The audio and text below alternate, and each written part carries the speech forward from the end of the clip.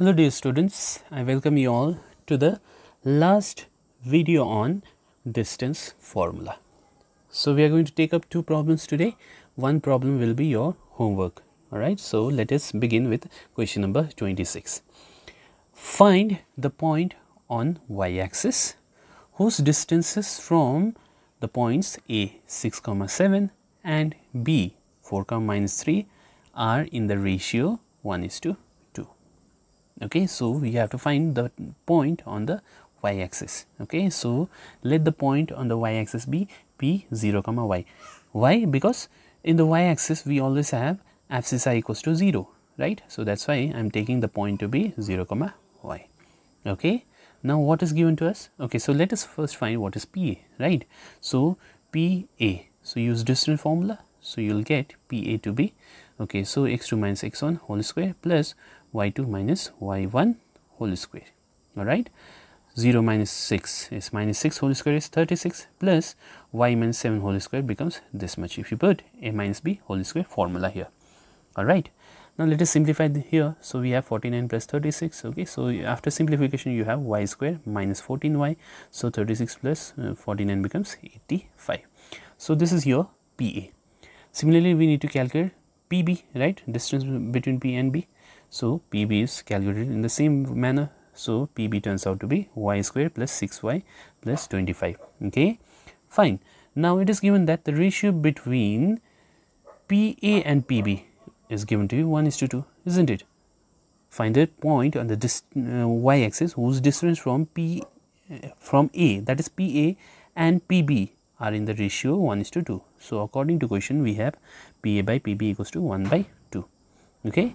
So squaring both sides we have pa square by pb square so 1 square is 1 2 square is 4 so squaring here will get rid of square root sign. All right so instead of pa square i am writing y square minus 14y plus 85 and similarly instead of pb square i am going to write y square plus 6y plus 25 okay so from here just do cross multiplication. Okay so 4 into y square 4y square. Okay so similarly uh, multiply all these things with 4 you will get this much. And from here you will arrive at this particular equation. Okay solve this. Okay so i have again skipped the step. You have to do this do the steps otherwise you will lose marks. All right so from here you will arrive at this. So from here the values of y will be equals to 9 and 35 by 3 okay?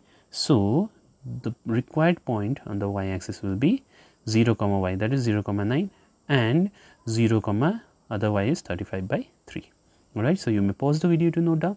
So there is a homework given to you. That's question number 27 and you have to do question number 27 till this step. Okay? So till this step you have to do. You need not do this much in the question number 27 so you may pause the video to note down okay so let me take the last question that's question number 28 question says the points A 3 comma 0, B A comma minus 2 and C comma, that is 4 comma minus 1 are the vertices of a triangle ABC right angled at vertex A. So basically this is a right angle triangle which is 90 degree at vertex A. Okay, so you need to find the value of A here. Okay, so from the figure we see that BC is the hypotenuse, right? So we have to make use of Pythagoras theorem here. So let us find AB. So AB is equal to this much. Sim similarly find BC and now I am not going to explain you how we are getting this much okay? So you are quite familiar with this okay? Similarly find CA okay?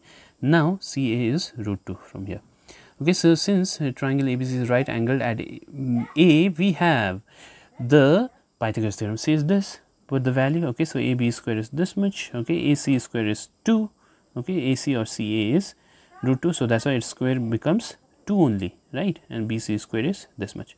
So from here uh, after simplification you will see 2a equals to 2 so that is a equals to 1 all right so the value of a from this turns out to be equal to 1 all right so you may pause the video to note down. Thank you very much